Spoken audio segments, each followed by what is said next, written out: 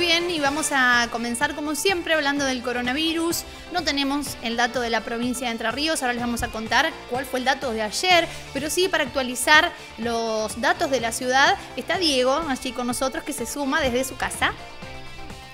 Hola Agustina, hola Roberto, hola Lean, ¿cómo andan? Sí, eh, yo estoy contento con la bajante de la temperatura, le digo, ¿eh? No sé, a usted no la noté muy contenta con esto. Y la verdad que yo soy del, eh, del, grupo del calor, a mí prefiero más el calorcito, pero bueno, la verdad que estaba muy pesado ayer, ¿eh? Hoy nos da un alivio el tiempo. En ese sentido... Sí, a mí me, me gusta más la temperatura así, yo sería feliz con esto, pero bueno. Eh, decía usted recién el tema del coronavirus y la información es la siguiente.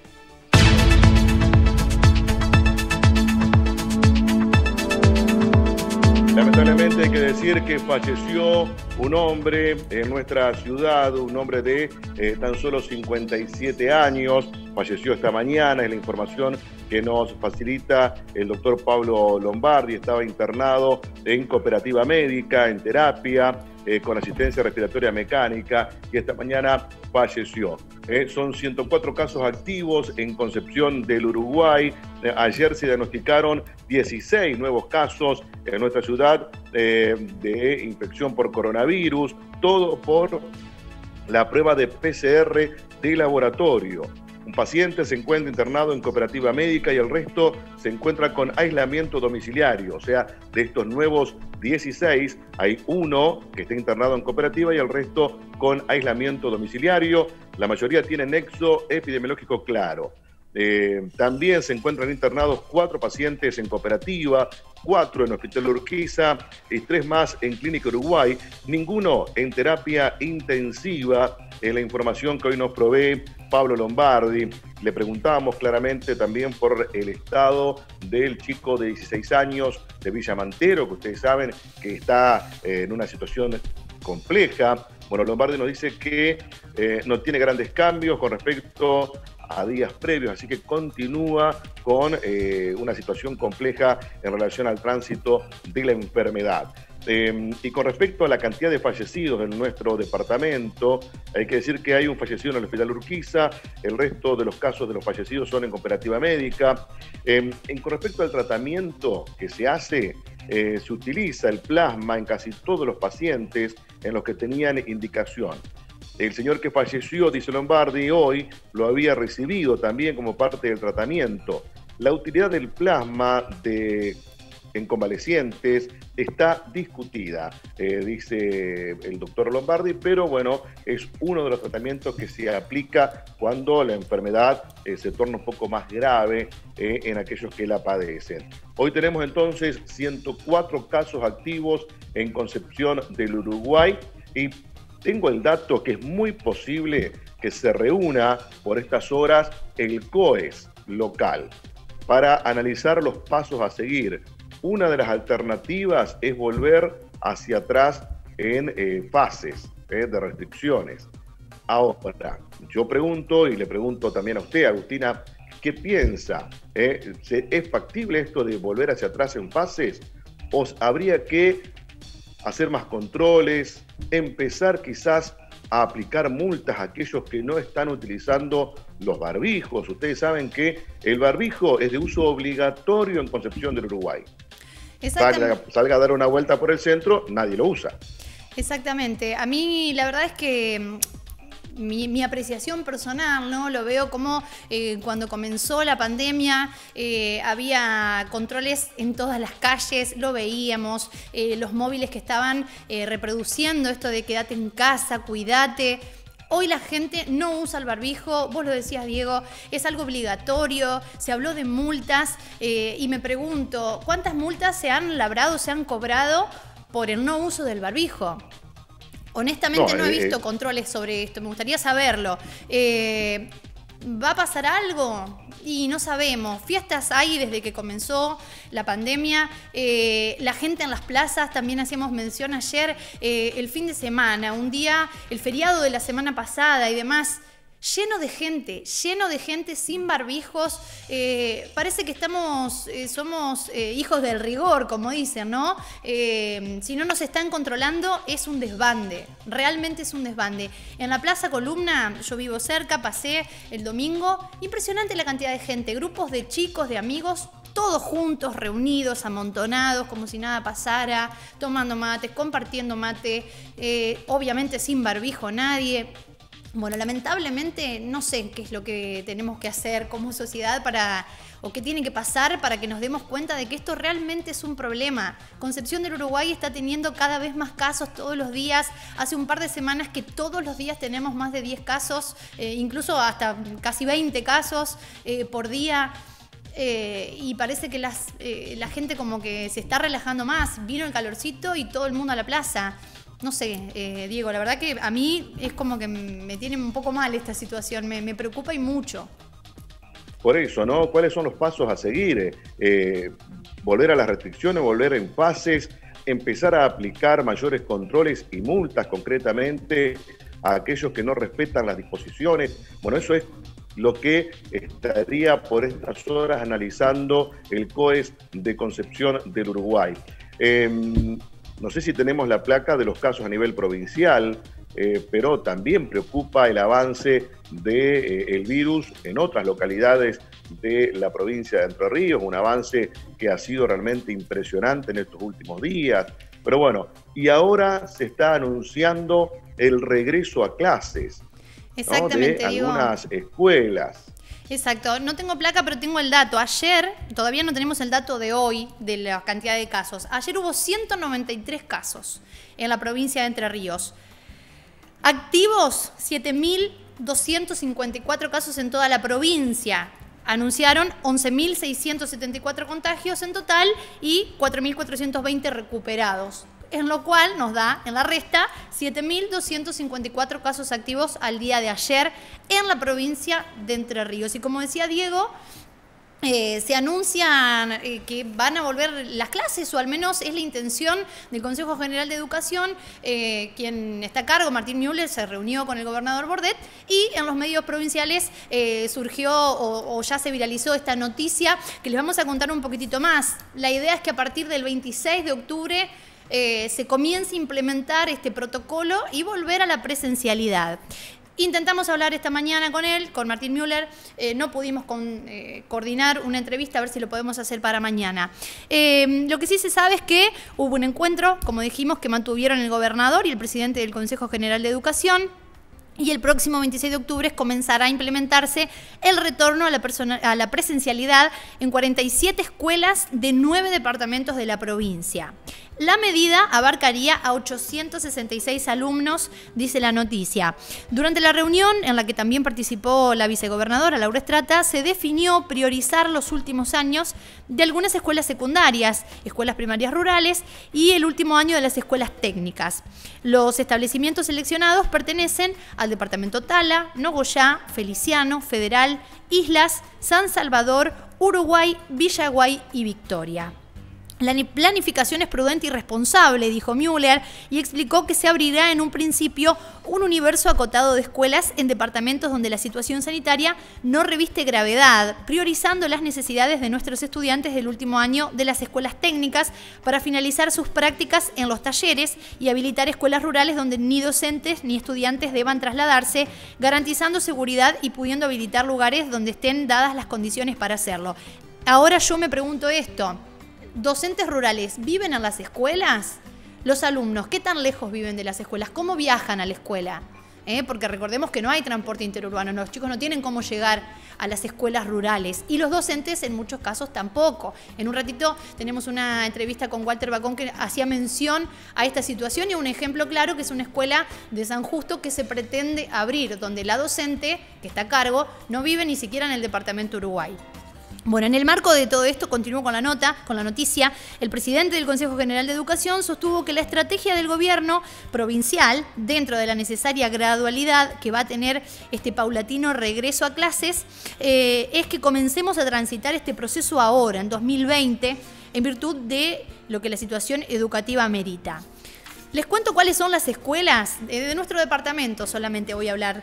Eh, Escuela Primaria 6, Manuel Belgrano, de Concepción del Uruguay. Escuela Nina número 11, 18 de octubre, de San Justo. Escuela Nina 48, Recuerdos de Provincia, de Concepción del Uruguay. Escuela Secundaria número 1, Raúl Chapuis, de Concepción del Uruguay. Escuela Técnica 1, Ana Urquiza de Victorica. Escuela Técnica número 13, Héctor Sauret. Escuela Técnica número 2, Francisco Ramírez, todas de Concepción del Uruguay. Y la Escuela Primaria número 12, Rafael Obligado, de Colonia Caseros. Estas son las escuelas que la provincia eh, evalúa como eh, posibles para que los chicos vuelvan a las clases presenciales. ¿eh? Los protocolos todavía no los conocemos, no sabemos si van a ser menos horas, menos días en la semana. Esto es lo que se dio a conocer. también sabemos que hubo una reunión esta mañana aquí en Concepción del Uruguay. Pero bueno, esto es la noticia provincial. Diego, ¿qué sabés vos respecto de esto? ¿Qué noticias tenés de Concepción del Uruguay?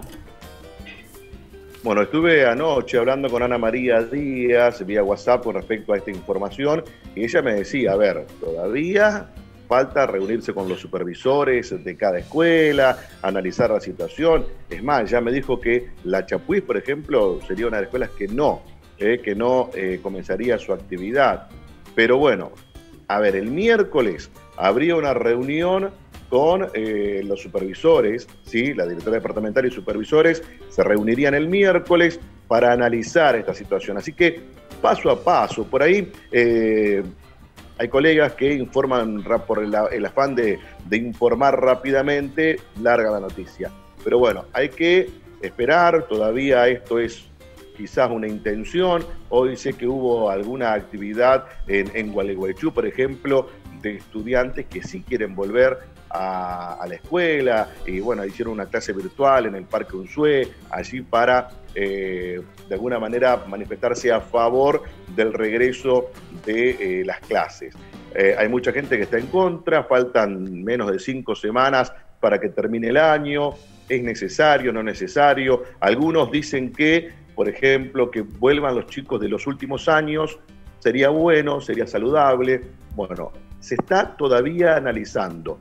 Falta entonces que mañana miércoles se reúna la directora departamental de escuela con supervisores y analicen la situación. Escuelas privadas todavía no hay novedades en torno a esto.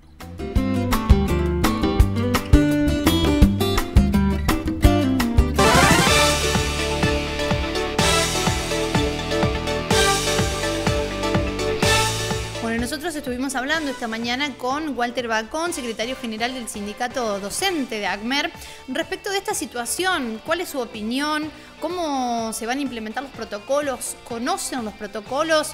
Eh, nos enteramos hoy martes que a partir del lunes, o sea, queda menos de una semana eh, para esta vuelta a clases. Bueno, mañana habrá un plenario de secretarios generales y también se va a estar discutiendo este tema. Tenemos el dato de que son ocho ocho escuelas acá en el departamento Uruguay, que son algunas primarias y algunas secundarias, hay de las dos, hay algunas de la ruralidad y algunas de la ciudad, y, por ejemplo también hay una escuela de caseros, este, y ante eso también eh, lo que pudimos averiguar es que serían los últimos años o cursos los que volverían a esa presencialidad eh, y seguramente no todos los días de la semana seguramente esta vuelta en los, sextos, en los séptimos años de las escuelas técnicas será para eh, lo que son los talleres, la parte técnico profesional y las prácticas profesionalizantes. Seguramente ellos volverán a esa, a esa parte que es la más urgente, la que sí o sí la necesitan y necesitan esa práctica con las máquinas de herramientas y con diferentes talleres en las, en las más blandas que tienen que ver con la experiencia que ellos tienen que adquirir para una vez recibidos como técnicos en las distintas modalidades. Eso por un lado, y por el otro lado, eh, sí también no dejar de decir que también es preocupante eh, la vuelta a clases en un departamento como el departamento Uruguay, con, como vos sabés, Agustina, eh, un avance en los casos y un crecimiento día a día de los casos y de los contagios de coronavirus en, la, en, en nuestra ciudad al menos, y en el departamento, y eso la verdad que también eh, nos, nos preocupa mucho tener que, tener que encontrarnos con la decisión del, gobierno provincial y del, del, presidente del Consejo de volver en este momento justamente tan crítico, ¿no? Nosotros creemos que en el caso particular del Departamento de Uruguay, eh, esto fue apresurado, creemos que estamos en un momento en el cual no estamos en el pico del contagio, sino que la curva va ascendiendo en contagios y que esto puede venir a, en vez de traer una solución, traer un problema aún mayor desde el punto de vista epidemiológico eh, en, nuestra provincia en nuestro departamento. Nosotros vamos a tener nuestro plenario de secretarios generales en el día de mañana y allí seguramente eh, definiremos los pasos a seguir de cara a las próximas semanas, teniendo en cuenta que también Agustina, eh, además de esto, que es la vuelta a clase y este, y este anuncio que se da, hay un conflicto que es el conflicto salarial que no está resuelto de ninguna manera y que el gobierno tampoco ha llamado a discutir. Inclusive, Agustina, hay que decirlo, hay directivos de escuelas, de estas ocho escuelas, por lo menos en Uruguay, y algunos y docentes de las escuelas que se enteraron por el diario que volvían a, a, clases. Nosotros claramente cuando hablábamos de protocolo, hablábamos de un protocolo que tenía que ser 15 días antes que volvieran los chicos, que se haga un protocolo que donde vuelvan directivos y docentes, donde se pueda estudiar el protocolo, justamente esa era la idea, como se hizo en otras provincias de Argentina.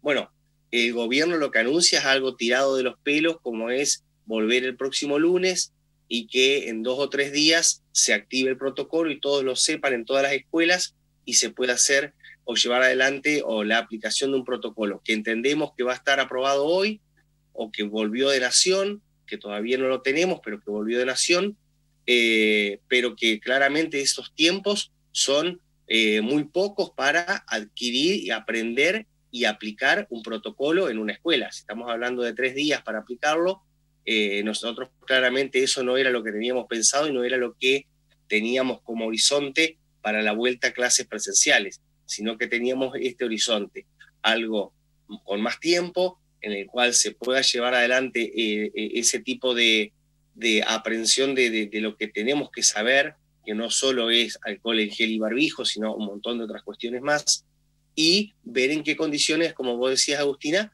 están esas ocho escuelas para volver. Cuestión que eh, lo vamos a tener que ir sabiendo con el correr de los días, ¿no?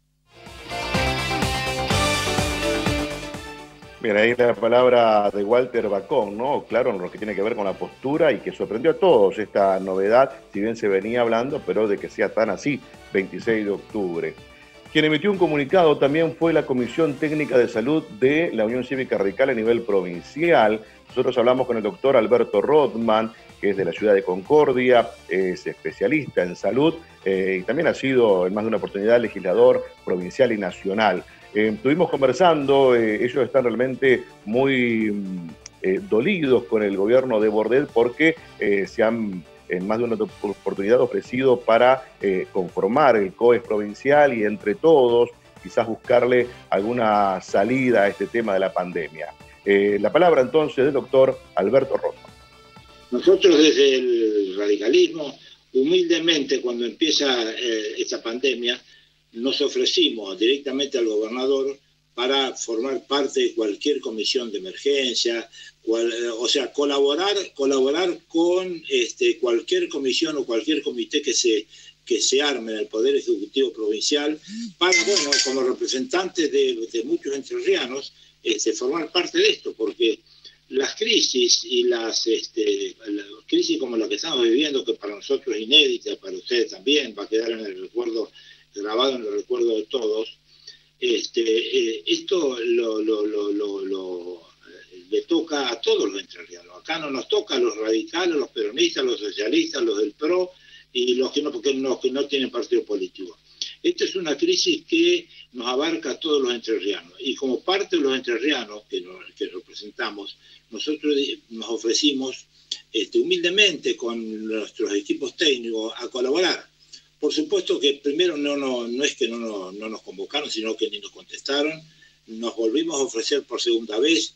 En la segunda ofrecimiento nos recibieron algunos funcionarios desde el segundo o tercer nivel del Ministerio de Salud, donde se les dio, yo no estuve, pero fue el presidente de la Unión Cívica Radical y fueron eh, tres miembros de la Comisión de Salud este, donde solamente estos funcionarios nos dieron información, o sea, la misma información que están dando públicamente, y nada más. Y bueno, y volvimos a ofrecernos de vuelta, porque lo hacemos en forma desinteresada, lo hacemos porque me da la impresión que cuando las cosas no andan bien, como no andan bien en la provincia, y como esta pandemia, mejor dicho, esta cuarentena nos tiene mal a todos los entrerrianos con el avance de la pandemia acá en Entre Ríos, esto nos compete a todos. Esto tenemos que, tenemos que entre todos colaborar para poder paliar lo mejor posible esta crisis en la provincia de Entre Ríos. Yo le decía a un colega tuyo, creo que ayer o antes de ayer, que me hacíamos una nota, nosotros los médicos este, estamos acostumbrados que cuando las cosas no, con un paciente no andan bien, lo primero que tenemos que hacer, por lo menos yo lo hago siempre, pido la consulta yo. Yo pido la consulta con otro profesional porque entre dos o entre tres las cosas las vemos mejor que uno solo. Y yo creo que acá es lo mismo. Así que bueno, nos han, eh, creo que nos han ninguneado, me parece, y nos da la impresión de que el que tiene el poder no tiene que estar imbuido en soberbia. La soberbia de la mayoría es una soberbia, soberbia de la mayoría que puede aceptarse, este, yo no la acepto, pero podríamos este, simplificarla en el poder que dan los votos, perfecto. Son los que dirigen, esta provincia con todas las normas legales y, y reales. Pero en estas cosas creo que hay que dar parte a todos. ¿Hay algún plan diagramado por parte de, los profesionales de la Unión Cívica Radical, en este caso, para, bueno, tratar de revertir un poco la situación? Sí, nosotros venimos diciendo desde siempre que creo que es el, ABC de esta pandemia, o en esta pandemia que hay que hacer. Hay que testear, hay que testear y testear. La única forma de yugular, de, más o menos este, sincerar la situación es testeando.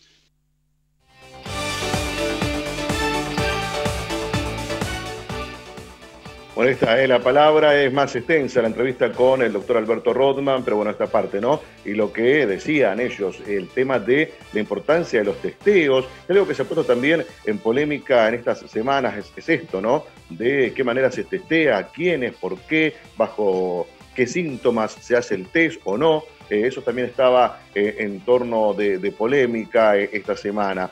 Lo cierto es que hoy Concepción del Uruguay, por ejemplo, tiene 104 casos activos, hay que cuidarse, hay que usar el tapabocas, el barbijo, hay que mantener la distancia social.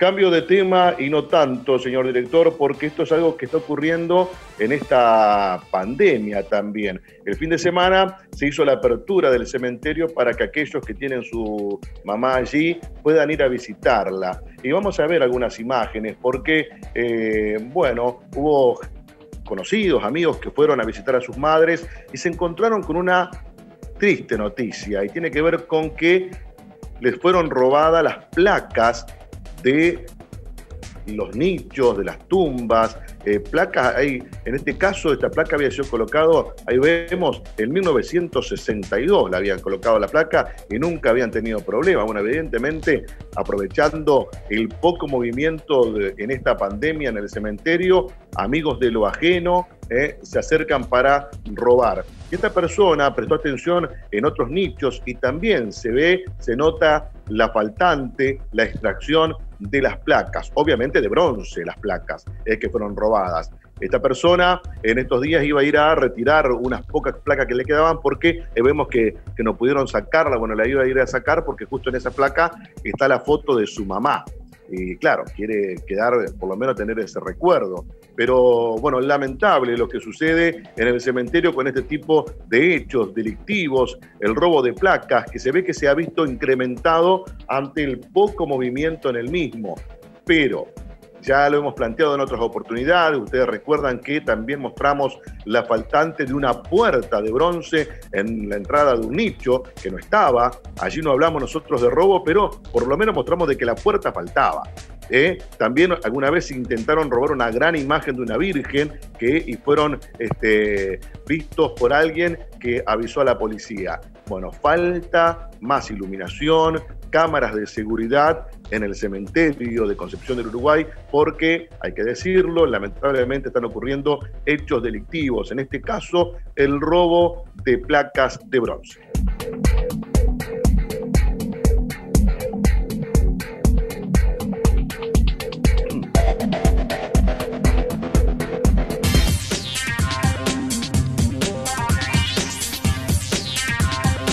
Mensajes de WhatsApp enviados al 3442-629924. Muy feliz cumpleaños para Don Consuelo. En 95 años está cumpliendo. Muchas felicidades.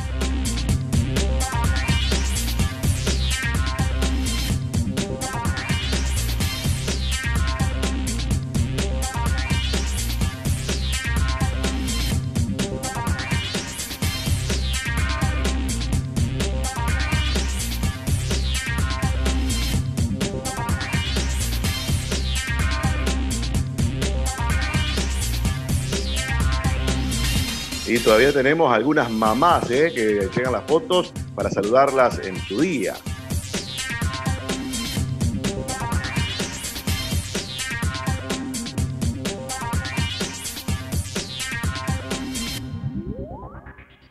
Aquí en Céliga y Celsi, el problema del alumbrado público, hay una farola que no está funcionando, ¿sí? Eh, la dirección es Pablo Céliga y Celsi.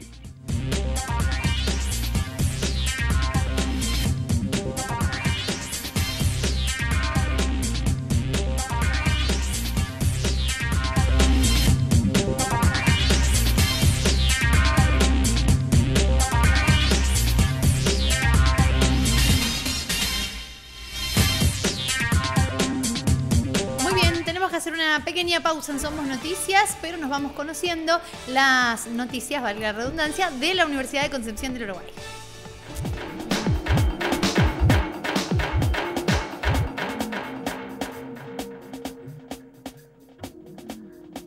El autocontrol de mamas es el estudio más importante y el examen más importante que debe realizarse la mujer evaluando sus mamas en el periodo post-menstruación. Eh, nos va a dar mucha información sobre el tejido mamario y sobre todo la presencia de nódulos. Em, respecto al resto de los estudios que se hacen para poder descartar o hacer el diagnóstico de patología mamaria, contamos con la mamografía como el primer screening y el más importante, acompañado por la ecografía. El autocontrol de mama debe realizarse a partir de que empezamos con los periodos menstruales. Ahí ya tenemos que enseñarle eh, a las chicas a evaluar sus mamas ¿sí? y aproximadamente con más exhaustivamente luego de los 25 años. Ya a partir de los 50 es que incorporamos, en realidad 45, eh, incorporamos los estudios como la mamografía y la ecografía. Sí tiene más riesgo en las mujeres a partir de los 45-50 años, de hecho es la edad promedio de comienzo de, aparición de los tumores de mama. Eh, preferentemente antes de esa edad suelen ser más eh, esporádicos. Eh, siempre suelen ser esporádicos los tumores de mama y la relación con la herencia es escasa a pesar de que es importante como peso para el diagnóstico, pero el 75% de las mujeres que tienen un cáncer de mama eh, no tienen herencia. Volviendo a hablar sobre el autocontrol, que es tan importante el autoexamen de mama, eh, eso nos permite encontrar los nódulos eh, muy tempranamente. En realidad es el estudio más importante porque es el que más frecuentemente nos da la presencia, nos delata la presencia del nódulo de mama. Ese nódulo cuanto más pequeño mejor responde a los tratamientos implementados y eh, eso permite que lleguemos en algunos momentos a la curación de la mama. La mamografía es uno de los principales estudios, como dije, es el screening para eh, la mama, para evaluar el tejido mamario y muchas personas tienen la creencia de que los rayos pueden traerle cierta eh, importancia o aumentar la posibilidad de tener alguna patología mamaria. Eh, eso es todo lo contrario, la cantidad de rayos que se usan en una mamografía es muy eh, limitada debido a que solo evalúa tejido eh, blando, no es como los casos de la radiografía de tejidos duros como los huesos, donde sí se necesita más cantidad de rayos. Es también importante diferenciar lo que es la mamografía de la ecografía, pero ambas sirven para el control mamario adecuado.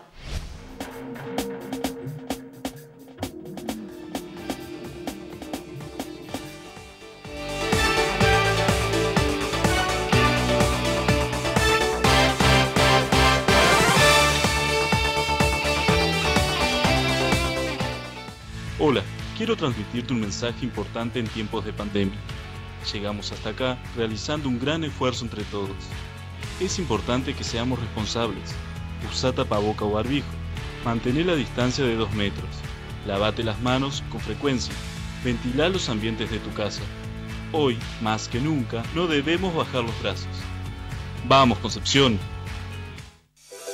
Ya sea que estés en Salta o en Ushuaia, en una gran ciudad o en el campo. Ellos están ahí. Los productores asesores de seguros. Para darte la tranquilidad que necesitas cuando la necesitas. Están cerca y están siempre. Y hoy más que nunca queremos agradecerles por seguir conteniendo a nuestros más de 7 millones de asegurados. Estamos. Sancor Seguros.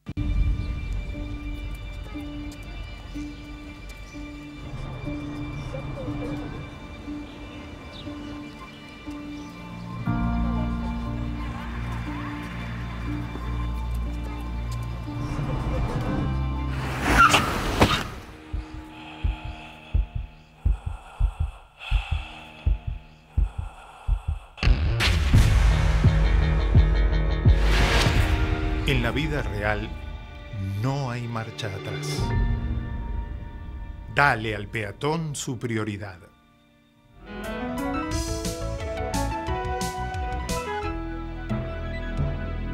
Luchemos por la vida.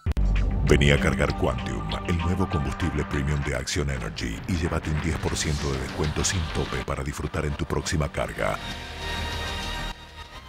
Action Energy. Vení a donde vamos. En tiempos en donde las redes están repletas de gente a la que le sale bien todo, que canta, que baila, que cocina, nosotros también queremos bancar a los que no. A los que se mandan a hacer algo y les sale horrible. Porque aunque pueda fallar, lo importante es seguir intentándolo. Y nosotros estamos ahí para darte todo lo necesario para que lo sigas haciendo. O una alternativa que te salve.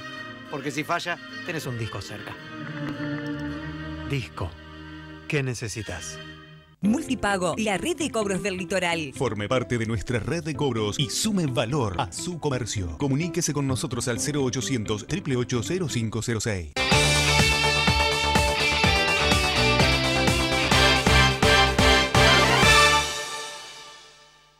Personal Prepago te da 20% más de crédito si recargas desde la app Mi Personal. Descargala ahora y haz tus recargas con tarjeta de débito o crédito. Aprovecha el beneficio para hablar más, chatear más y navegar más. Más crédito para estar más conectado. Personal. Con Personal Prepago te damos 20% más de crédito si recargas desde la app Mi Personal. Descargate la app, haz tu primera recarga con tarjeta de débito o crédito y aprovecha 20% más para vos que sos de engancharte con la receta y no parás hasta tener en el chat más info que un libro de cocina. Personal. Vamos a continuar con la información y les contamos esto es una noticia internacional en definitiva y nos afecta porque eh, hay un acuerdo que se firmó, esto se empezó a trabajar en el año 2016, un acuerdo binacional entre Argentina y Uruguay para mitigar el cambio climático. Eh, ¿Quiénes están involucrados? Las ciudades eh, de la costa del río Uruguay, en nuestra provincia, Concordia, San José y eh, Concepción del Uruguay. En estas tres ciudades va a haber obras, como les decíamos, para mitigar el cambio climático. Estuvimos hablando con Martín Barbieri, secretario de Medio Ambiente de la provincia de Entre Ríos, que nos cuenta un poquito más sobre lo que se va a hacer aquí en nuestra ciudad. Este acuerdo nace en el año 2016 en la cumbre de las partes que se realizó en el país de Marruecos, donde el propio gobernador Gustavo Bordet encabezó la delegación, digamos que entre otras participaciones, este, junto con la delegación de la República Oriental del Uruguay, se gestiona eh, un, este, un proyecto para eh, la adaptación al cambio climático del ecosistema del río Uruguay. Eh, a partir de allí se empieza un arduo,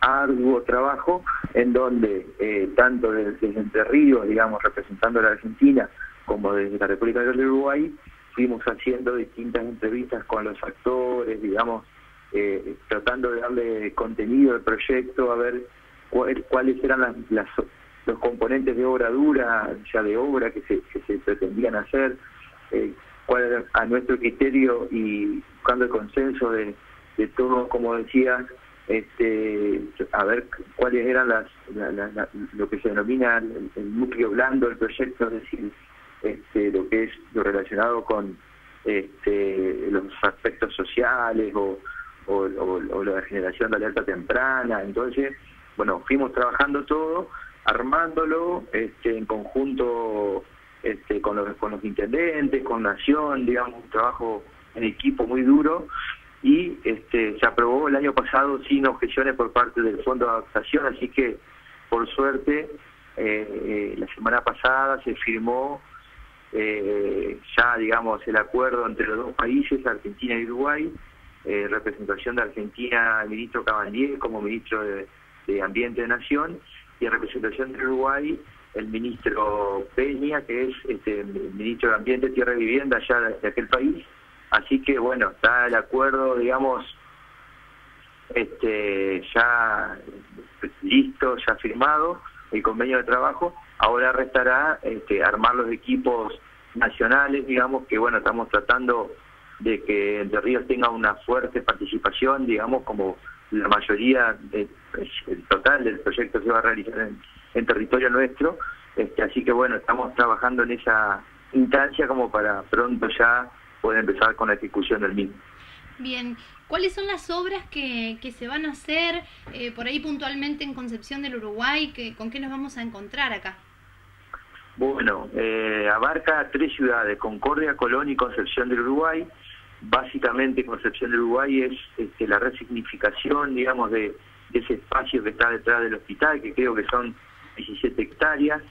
Eh, lo hemos estado ya este, hablando a esto con el intendente Martín Oliva y, antes con el doctor con el doctor Laurito, cuando estaba la intendencia en la gestión pasada.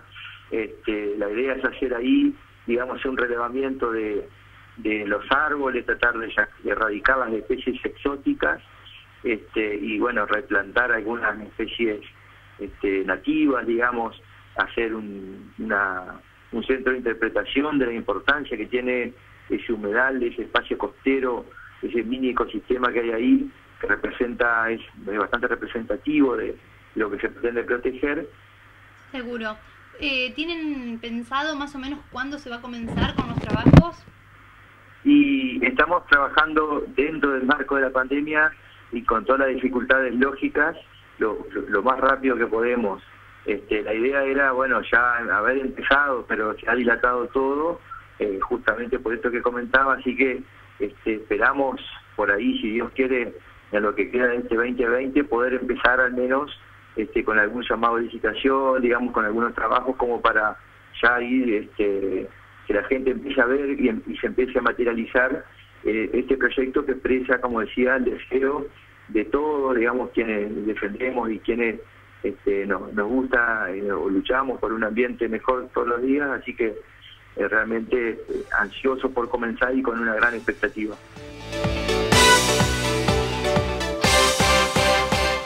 Bueno, seguimos con la información, algunas cortitas. Eh, recién, bueno, me acaba de llegar la información de un nuevo decreto del intendente municipal que tiene que ver con las licencias de conducir. Atención, eh, pues, según este decreto, que es el número 26.521 del 16 de octubre del 2020, eh, dice que se prorroga y de manera preventiva y con carácter excepcional y por el tiempo que resulte necesario la vigencia de las licencias de conducir emitidas en el ámbito del municipio de Concepción del Uruguay, en un todo de acuerdo a lo dispuesto por la Agencia Nacional de Seguridad Vial a través de las disposiciones de, bueno, el decreto 2020-229, etcétera. Así que, bueno, eh, se prorroga entonces de manera preventiva y con carácter excepcional y por el tiempo que resulte necesario la vigencia de las licencias de conducir. Eh, esta información es importante porque hay mucha gente preocupada, porque claro, se les vence ahora la licencia y está un poco saturado el tema de los turnos también allí en el municipio. Pero bueno, eh, tranquilidad, hay un decreto del intendente municipal, aquí está, es el 26.521, por el cual se adhiere a las disposiciones nacionales y se prorroga por el tiempo que sea necesario la vigencia de las licencias de conducir. Así que, bueno, tranquilidad en relación a eso. Bueno, mucha gente me hacía también comentarios con respecto a lo que yo dije de los robos en el cementerio, el robo de placas. También hay gente que ha sufrido el robo de los floreros de, de metal y otros elementos. Así que, bueno, eh, se ve que se hace eh, necesario ya a estas alturas eh, mejorar lo que tiene que ver con la seguridad dentro de la necrópolis. Seguimos con la información. Esto es algo que está ocurriendo y se vio mucho el domingo, ¿sí? pero también ahora se puede ver la actividad de la prefectura uruguaya. A ver, tenemos ahí un video que nos acercó eh, un amigo. Bueno, ese, esa embarcación que ustedes ven es la prefectura uruguaya patrullando la costa uruguaya. ¿Por qué? Porque el fin de semana, y aquí hay una foto más de cerca, esto ocurrió el fin de semana, eh, lo publicó una persona de Concepción del Uruguay en su Facebook. Ellos habían ido en una embarcación hasta este lugar que marca el círculo, eh, que es un lugar muy conocido, que la gente va mucho, eh, el Arroyo Negro creo que, se denomina. La verdad que yo no he ido nunca, pero bueno, hablo por, lo que el comentario que, que decían. Pero bueno, Estaban allí muchos uruguayenses en su embarcación, fueron aprovechando el calor del domingo y se acercaron a ese lugar. Fueron echados, fueron echados por la prefectura uruguaya y ahí está la foto, eh, utilizando el armamento militar y todo. Acá no se puede estar, los sacaron. Eh, claro, tendría que ver esto aparentemente por el tema del el COVID, del coronavirus. Pero bueno, llama eh, la atención en la manera, ¿no? El modo. Pero bueno, ahí está. De esta forma, sí, eh, la prefectura uruguaya controla que, en este caso, los uruguayenses no vayan a la costa uruguaya a refrescarse.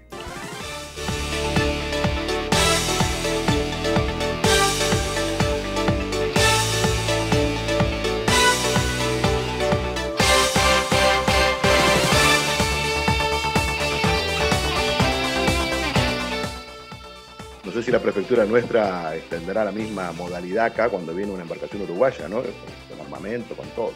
Bien, eh, cambiamos de tema. Eh, se cumplió 219 años del nacimiento del general Justo José de Urquiza. Hubo diferentes actos. Nosotros vamos a compartir un fragmento del acto realizado en el campamento Calá, allí en la localidad de Rocamora.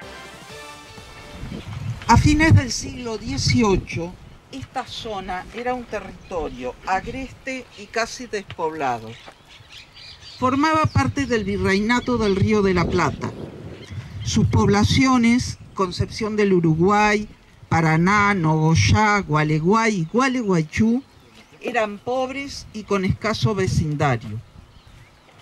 El crecimiento del llamado continente del Entre Ríos era lento sin embargo, ya mostraba signos de futura promisión.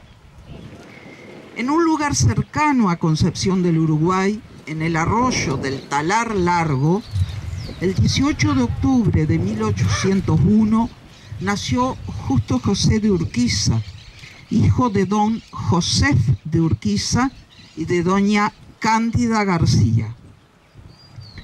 Hoy se cumplen 219 años de esa fecha. Nos reunimos para rendir homenaje a ese hombre que fue grande, no solo para Entre Ríos, sino para Argentina. A diferencia de los que quizás aspiran a ser lo que no son, quiso construir la nación una tierra de progreso, libertad y educación, dentro de un marco donde lo que imperase fuera el orden de la ley y no de las lanzas y el terror. Pero él mejor que nadie puede describir su pensamiento cuando se dirige a los hombres de Buenos Aires luego del triunfo de Cepeda en 1859, diciéndoles, vengo a arrebatar el poder a un círculo que lo ejerce en su provecho para devolverlo al pueblo, que lo usará para su prosperidad. Al fin de mi carrera política, mi única ambición es contemplar desde el hogar feliz y tranquilo la República Argentina, que me cuesta largos años de crudas fatigas. Vengo a ofreceros una paz duradera bajo la bandera de nuestros mayores, bajo una ley común, protectora y hermosa. Presenté efectivamente un proyecto y no lo traje, por eso lo, explico brevemente, que en realidad no es un proyecto eh, original mío, sino que lo tomé de alumnos de Concepción del Uruguay, del Colegio eh, José de Gregori de Concepción del Uruguay que mm, presentaron ante el Senado Juvenil.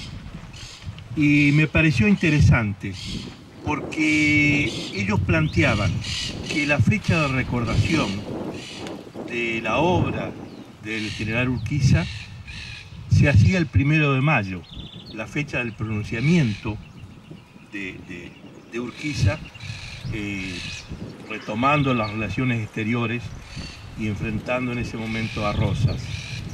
Y esa fecha, primero de mayo, coincide con el Día del Trabajador.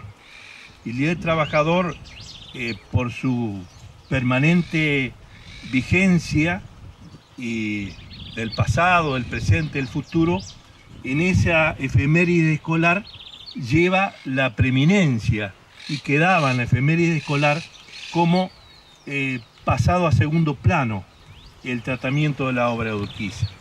Entonces, estos chicos planteaban, y yo retomé eso, que la obra de Urquiza se celebrara, se, difundiera en los colegios el 11 de abril, que es la fecha de su trágica muerte, de su asesinato. Así que en eso consiste básicamente el proyecto, en que el 11 de abril se pueda difundir eh, la, obra de Urquiza, que como decía Gastón, eh, es una obra fundacional para Entre Ríos y para el país. ¡Viva el general Urquiza!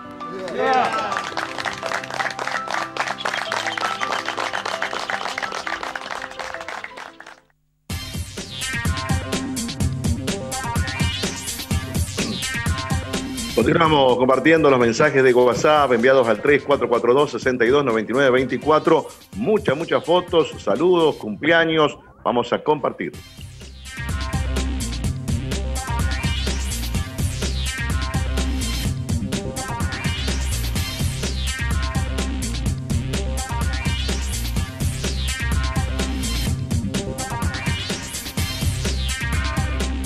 Por aquí están reclamando la limpieza de este terreno en Güemes y Henry, eh, con muchos pastizales y demás. Eh, hay gente que aprovecha a tirar basura también. Bueno, le piden al propietario la limpieza del terreno en Güemes y Henry.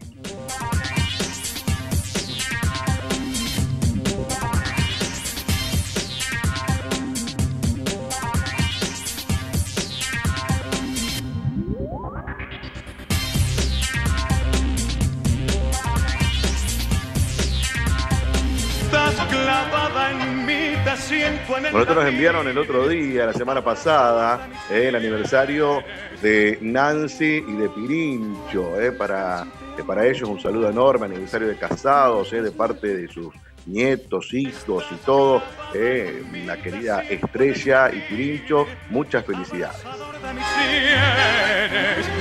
Te adoro cuando estás y te amo mucho más cuando estás lejos de mí.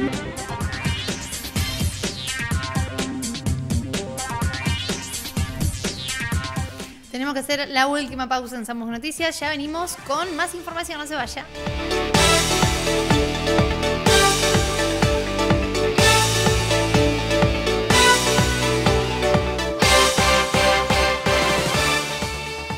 Destacados de la semana.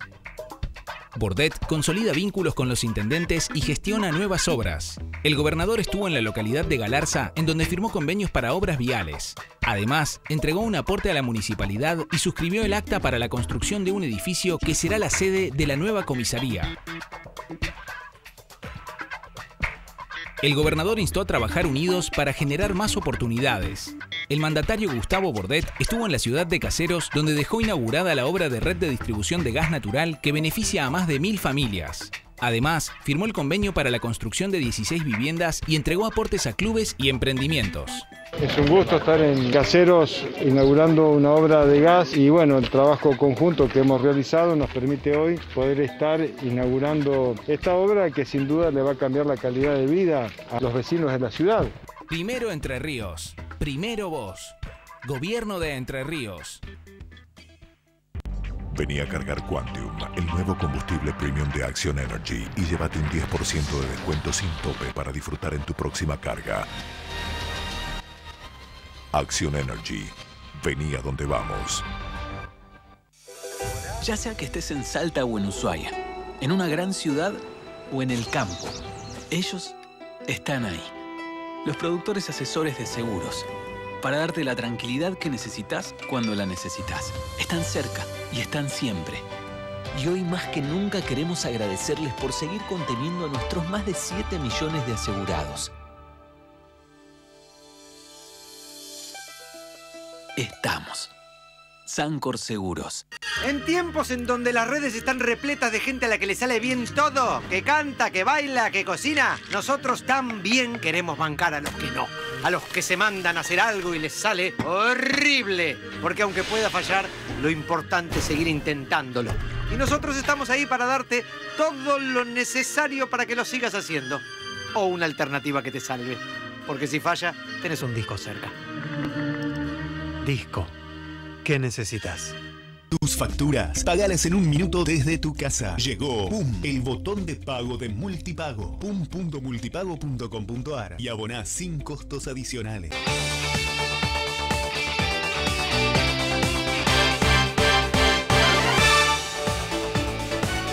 Muy bien, seguimos con la información. Diego, tenés algo que contarnos. eh? Eh, se viene trazos sonoros. ¿De qué se trata? Bien, se aproxima el cumpleaños de don Linares Cardoso, 100 años, eh, y por eso desde la Dirección de Cultura de la Municipalidad eh, están realizando una muestra virtual que usted la puede ver ingresando a la página de eh, la Municipalidad de Concepción del Uruguay. Estuvimos hablando con respecto a esta muestra con Atahualpa Puchul. Bueno, Trazos Sonoros, así se llama la, la muestra, es una, una propuesta de, de, recorrer la obra y la vida de Linares Cardoso, que en este mes de octubre se cumplen 100 años de su natalicio, el 29 de octubre, día también de la chamarrita entrerriana, este, se van a cumplir 100 años del natalicio de, Rubén Martínez Solís, alias Linares Cardoso, como se lo conoce. Eh, tal es su nombre artístico. Y bueno, hemos decidido desde la Municipalidad de Concepción de Uruguay tratar de buscar el, costado quizás menos conocido del artista, que es su obra plástica, sus dibujos, sus óleos. Eh, Linares por ahí es más reconocido por este, la, chamarrita, por alguna de sus poesías o de sus libros escritos, pero no por su plástica, que estaba también bastante dispersa. Entonces, con, con el director de, de, Cultura, Guillermo Lugrín, este, desde hace dos meses hemos empezado a rastrear su obra y las, las hemos subido a un museo virtual para que se pueda hacer este, la recorrida virtual. El museo es el Artemio Alicio, trabajando con la gente de informática de la municipalidad, se desarrolló este museo virtual que le va a permitir a toda la sociedad uruguayense, entrerriana, argentina y, y del mundo, desde cualquier parte del mundo, conocer la obra pictórica y rememorar también aspectos de la vida de Linares Cardoso, que en el último tramo de, de su vida vivió en Concepción de Uruguay. Atahualpa, ¿cómo se puede hacer para, para ingresar? Entonces, ¿ya está lista la obra o se va a inaugurar en estos días? Desde ayer a las 19 ya está el link para poder ingresar. Es cdeluruguay.gov.ar, solapa recorridas virtuales, solapa trazos sonoros se entra allí. También pueden buscar esa dirección desde nuestro Facebook, la Dirección de Cultura de, la, de Concepción de Uruguay. Entran allí, ya en pocas horas hay más de 400 visitas, lo cual es un número importante. Y este, siempre decimos que no solamente es para la sociedad, también se puede aprovechar mucho institucionalmente con las instituciones educativas justamente para que los chicos puedan conocer la obra, recorrer desde la plástica, desde la música, quizás desde la historia también, este, recorrer la, obra de este artista. Este, y, hoy que los chicos están trabajando mucho con la modalidad virtual y que lo tienen bastante a flor de piel, este, poder desarrollar alguna actividad también con este, con este museo virtual de trazos sonoros. La verdad que destacar, eh, en principio, lo que comentabas recién, ¿no? Esta investigación previa que debieron hacer ustedes eh, con Guillermo, porque no es una muestra de que ya estaba colgada o que ya pertenecía a algún museo. Eh, tuvieron que investigar, buscar para poder realizarla. Sí, sin duda, esta obra estaba un poco desperdigada entre el Museo Artemio Alicio, otro, otra parte de la obra la tenía Celeste Ansaldi, y otra parte de la obra la tenía Tona Martínez, que es la hija, la hija junto con el Tata Martínez o los hijos de Linares Cardoso que viven en Paraná y que gracias a ellos que colaboraron con nosotros nos ayudaron a montar esta obra, que además tiene también algunas imágenes de Mario Soria, Mario Soria que es uno de los grandes baluartes de la fotografía este, y que ha captado cada momento retrató a Linares Cardoso en una sesión importantísima y hermosa y pudimos rescatar algunas, algunas de esas fotos que se van a exhibir por primera vez también en este museo. Además va a haber videos didácticos donde, donde hay distintos artistas, desde los fronterizos hasta Luis Alberto Espineta tocando temas de Linares Cardoso, para, un poco para dimensionar también hasta dónde llegó la obra de, de este gran artista. Esta muestra virtual que, va a ser como oficialmente celebrada el 29 de octubre, día en que Linares Cardoso cumple 100 años, va a estar abierta hasta el 15 de noviembre. Bueno, y nos vamos a despedir en este programa, Diego, eh, mostrándoles lo poco caballeros que fueron los chicos de, Animal, eh, Abelardo, Camilo, Dylan, y lo voy a decir porque eh, cumplieron el desafío muy entre comillas. Ellos nos desafiaron a nosotros dos, nos eh, desafiaron a nosotros Lamentable. dos. Nosotros los desafiamos a ellos tres y mirá lo que hicieron. Yo confío en Dylan, confío en Camilo, confío en ustedes. Sí. No entiendo lo de. No, no, no, sé qué es eso. Ahora se ve bien igual. No sé qué es eso de video del ave. A ver, ponelo en primer. ¿Qué se ve? ¿Qué es como un balde o una regadera? ¿Por qué Abelardo tiene lentes? Me acaba de mandar Agustina y Diego que están esperando el video. Me dicen, no, vos que sos la mujer que pone orden en el, en Animal de Bella. Mira, ya estoy perdido porque los chicos me están tentando para irme con ellos. Ya no sé de qué lado estoy. Porque a mí no me gusta que no cumplan las promesas. Y le cuesta tan poco venderse. Si no, no pongan ninguna mesa para llegar.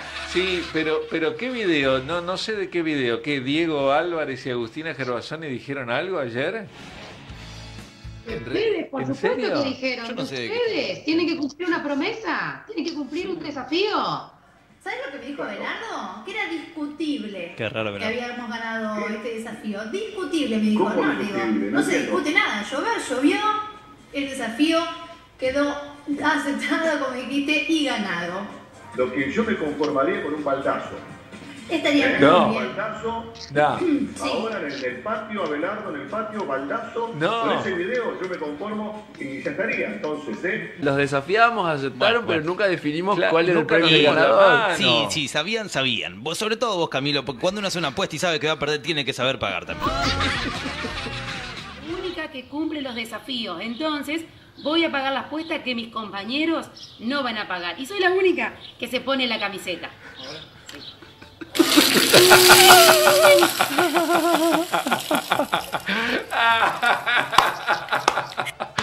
Buenísimo.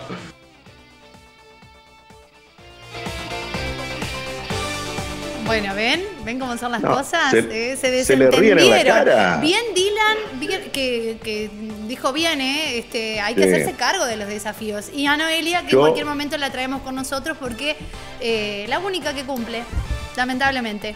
Yo nunca haría algo así con usted, Agustina, ¿eh? Jamás imagino, se me pasaría me por la cabeza Me eh, no. hacer una cosa de esta. Pero lamentable, qué triste lo de estos tres muchachos. Bueno, eh, no sé, quizás le damos un día más, quizás mañana, tal vez. Y mira, hoy está lloviendo a cántaros, podrían eh, hacer el videito Podrían bajo el agua. Sí, yo estoy, estoy con vos en eso.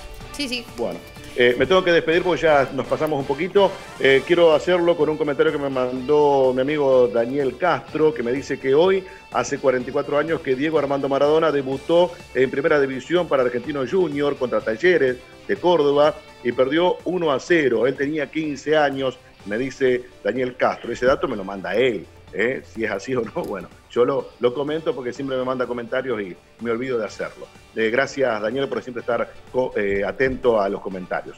Bueno, me despido, nos reencontramos, si Dios quiere, mañana con el baldazo de Abelardo, con el baldazo de Dylan, con el baldazo de Camilo. Lo veremos mañana, ¿sí? Muchas gracias, buena jornada. Chao. Chau, chau.